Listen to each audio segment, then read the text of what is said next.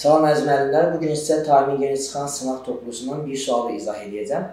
Sualı izah etmək üçün sadəcə olaraq insanın özünün DNT molekulu haqqında məlumatı olması, hidrogen rabitəsi haqqında məlumatı olması lazımdır. İndi isə keçək suala. Bərabər sayda nukleiddə olan DNT molekulunun bir zəncirində olan nukleidlər verilmişdir. Hansı DNT molekulunun ərimə faizi ən aşağıdır? Burada nəyə diqqət edəcəyik? Hansı DNT molekulunda hidrogen rabitələrinin sayı daha çox olarsa, demək ki, həmən DNT molekulunun ərimə temperaturu ən yüksək və ərimə faizi ən aşağıdır. Çünki hidrogen rabitəsi çox olduğu üçün həmən DNT molekulu daha davamlı olduğuna görə onun ərimə faizi aşağı olmuş olacaqdır. İndi gəlin 5 DNT zəncirində olan nukleidlərə görə onların hansının ərimə faizi ən aşağı olduğunu tapaq. Və şərtdə də bizə dediyi kimi bərabər sayda nukleiddə olan deyir. İndi hamısının bərabər sayda, yəni mən ümumi olaraq bir zəncirdə 200 dənə hər birinə 200 sayda nukleid deyirəm.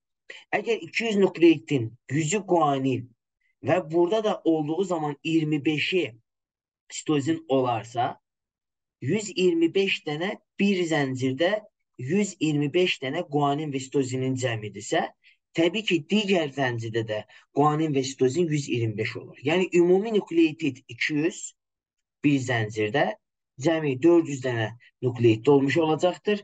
400 üzərinə gəlsin 125 bərabərdir. 525 hidrogen rabitəsi burada olur. Növbəti keçdik.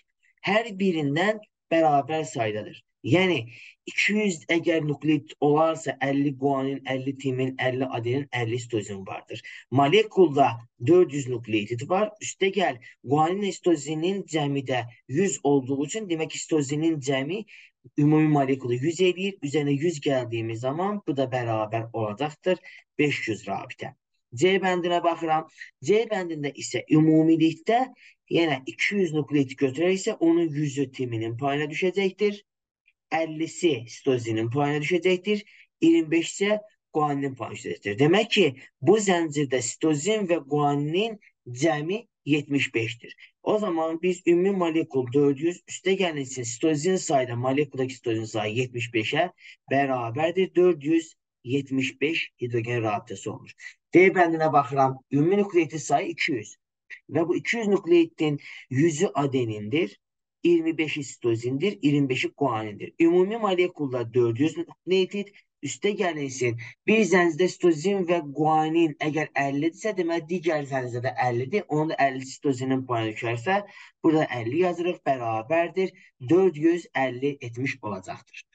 Keçdik axırıncı zəncirə. Axırıncı zəncirdə isə ümumi 200 nukleotid var. Yəni molekulda 400 nukleotid vardır.